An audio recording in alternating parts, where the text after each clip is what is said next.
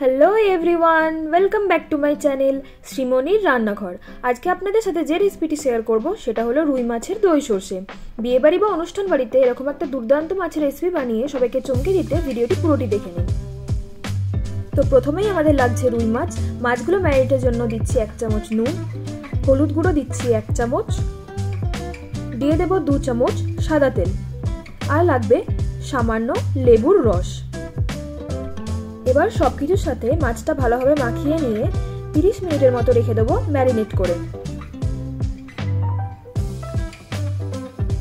এরপর আমাদের রেসিপির মূল উপকরণ লাগছে পঞ্চাশ গ্রাম কালো সর্ষে ও একশো গ্রাম সাদা সর্ষে। দুটো সর্ষে একসাথে মিক্সার গ্রাইন্ডে জল দিয়ে পেস্ট বানিয়ে নিয়েছি।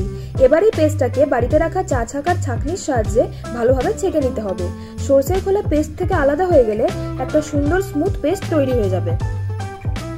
এবার কড়াইয়ে মাস্টার্ড অয়েল বা সর্ষের তেল দিয়ে ম্যারিনেট করা মাছগুলো সাবধানে দিয়ে দেব, যেন তেল ছিটকে হাতে না লেগে যায়। মাছগুলো দু পিঠি উল্টে পাল্টে সামান্য লাল করে ভেজে নেব। দেখুন, মাছগুলো খুব ভালোভাবে ভাজা হয়ে গেছে। এক্ষেত্রে বলে রাখি, মাছগুলো খুব কড়া করে ভাজা যাবে না। এবার মাছ ভাজার ওই একই তেলে দিয়ে দেব শুকনো লঙ্কা ও সামান্য কালো জিরে। এবার আমাদের দিয়ে দিতে হবে আদা রসুন বাটা। গ্যাসের ফ্লেমটা লো রেখে আদা, রসুন বাটা ভালো করে ভেজে নিতে হবে। তারপর দিয়ে দেব কাঁচা লঙ্কা বাটা। এখানে আমি একটাই মশলা ব্যবহার করব, সেটা হলো হলুদ গুঁড়ো। দু চামচ হলুদ গুঁড়ো দিয়ে দিলাম। পাঁচ মিনিট ভালো করে নাড়াচাড়া করে দিয়ে দেব তিনটে টমেটোর পেস্ট।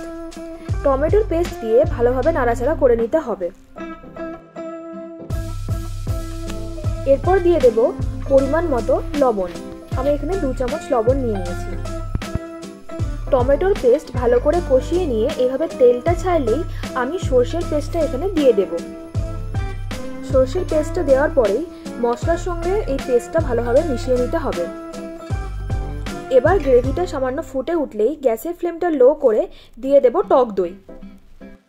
গ্রেভির সঙ্গে টক দইটা ভালো করে মিশিয়ে নিতে হবে। এক্ষেত্রে গ্যাসের ফ্লেমটা হাই করলে কিন্তু দইটা ফেটে যেতে পারে। গ্রেভির সাথে দইটা ভালো করে মিশে গেলেই গ্যাসের ফ্লেমটা একটু মিডিয়াম করে ফুটতে দিয়ে দেবেন। এক্ষেত্রে গার্নিশের জন্য আমি দিয়ে দিচ্ছি সামান্য টমেটো কুচি।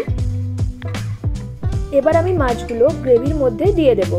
মাছগুলো দিয়ে লো ফ্লেমে ফুটতে দিতে হবে। মাছগুলোর ওপরে এরকম গ্রেভিটা আস্তে আস্তে দিয়ে দিতে পারেন।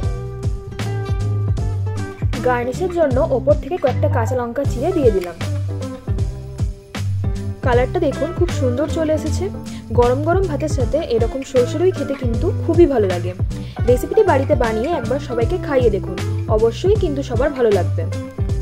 ভিডিওটি ভালো লাগলে লাইক কমেন্ট ও শেয়ার করুন অন্যান্য বন্ধুদের সাথে।